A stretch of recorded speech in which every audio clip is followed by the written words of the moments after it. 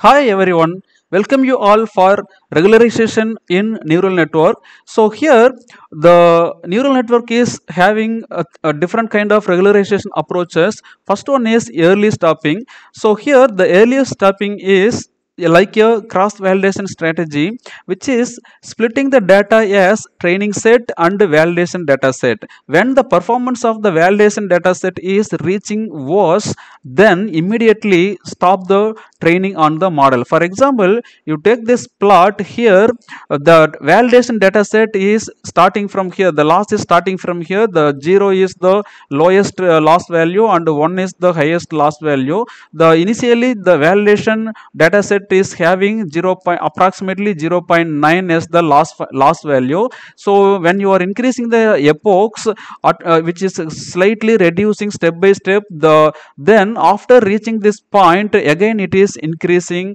uh, towards the highest value. So here the validation is once reaching the worst case okay? It is reaching the uh, worst case then we can stop the uh, training on the model. So here the validation and uh, training will be uh, done parallelly in the neural network. So here uh, stop the training at the dotted line. So this is the uh, dotted line. Okay so here that in the dotted line we have to stop the epochs. We have uh, of the training phase. So here uh, after this dotted line is increasing the error so due to that the difference between the uh, training error and testing error is high. So if you have high variance between the training error and validation error then the model will uh, reach the overfitting. So to avoid the overfitting we are stopping the uh, training at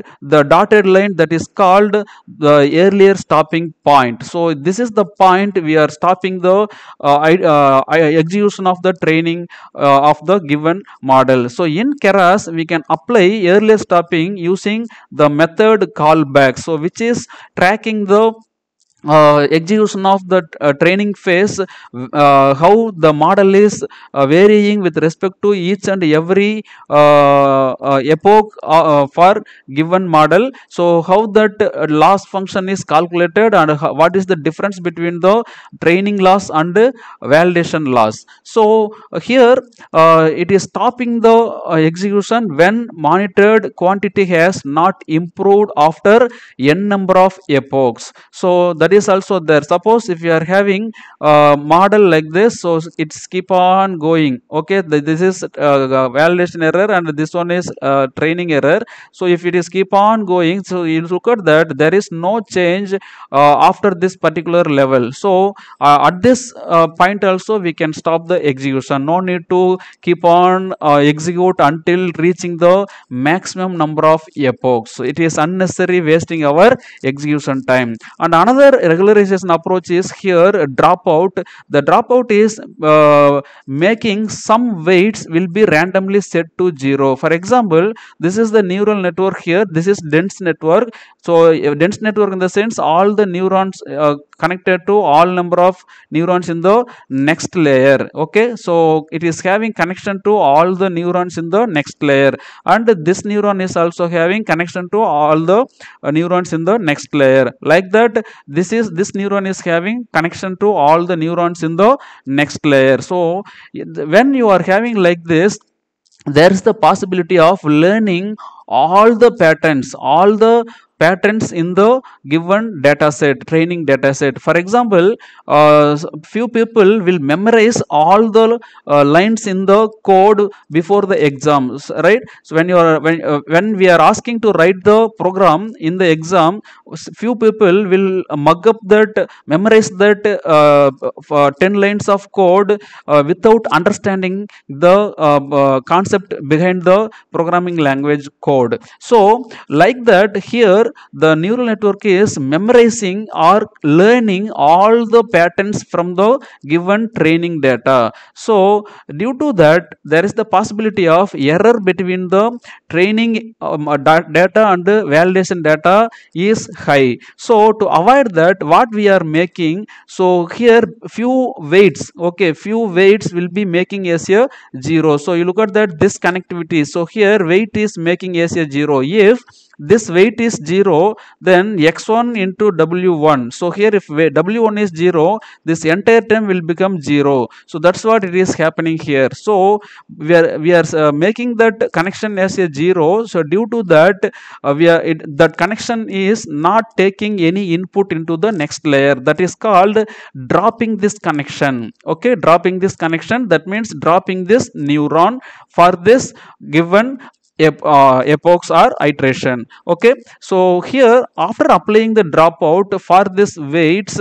what it will be happen? It becomes uh, 0.1 here minus 0.9 so we are dropping these two weights. Okay? It is making it are uh, we are making the two weights as a zero for our dropout method. So which is randomly distributed over the weights. The dropout rate parameter is controlling how many weights to be set to zeros so we can set the dropout rate. That means we, the rate is from uh, range is from 0 to 1 so mostly they will use either uh, 0.2 or 0.5 okay mostly they will use 0.2 and s- few times they will uh, vary the value 0 0.5 okay? So it will give you some good uh, accuracy for the model. And one more regularization method is data augmentation for the neural network which is generating new training samples to the given data set so more training data decreases the model's variance. That means when you are increasing the number of samples in the training data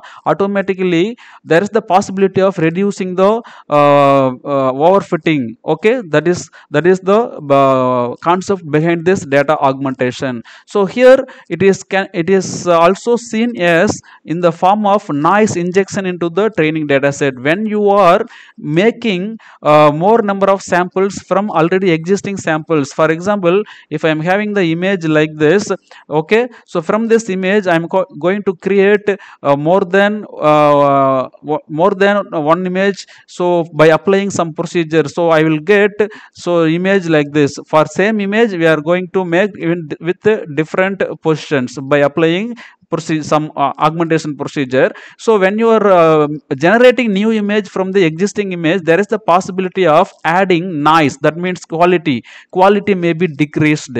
Okay? So it is also called noise injection into the training data set there is different type of augmentations. One is the data manipulation. Here we will apply geometric transformations like image flipping. That means we will uh, flip the image vertical or uh, horizontal or uh, we will rotate the image. So we will apply some different uh, uh, transformations cropping rotations translations color modification image mixing joining two images three images like that. So cutout is commonly used to remove certain portion of the image. That means suppose if you are having two objects in the uh, image then we will remove one of the uh, object from the image. And mix up is the process of blending two images from the data set into single images. So we are that is like a merging two images.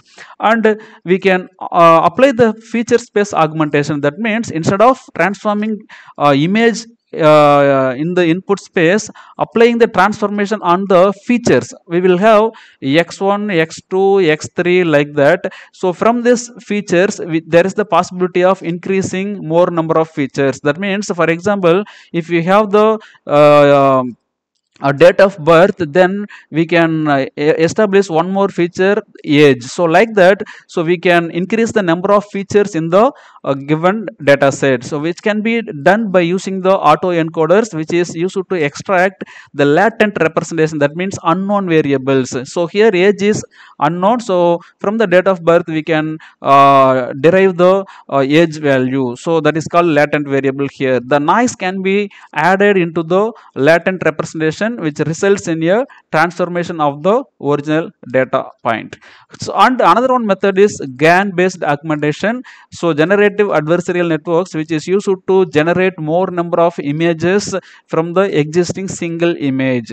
So, by using some procedure and meta learning is another kind of uh, augmentation in the ne neural networks which is used to prevent the uh, overfitting by optimizing the neural networks. So, here uh, which is using one neural net network to optimize another neural networks by tuning their hyperparameters and improving their layout. That is, uh, use a classification uh, network to tune an augmentation network into generating better images. For example, uh, if you have free random images to an augmentation network which generates uh, I mean feeding feeding the random images into GAN which is generating more number of images for the given uh, input image. Here both augmented image and the original are uh, passed into the second network second neural network which is comparing them and provide the good quality augmented images. So by using this uh, kind of method we can generate more number of images for the training data set so that is one of the uh, method to improve the increase the number of samples in the training data set that will reduce the overfitting. Thanks for watching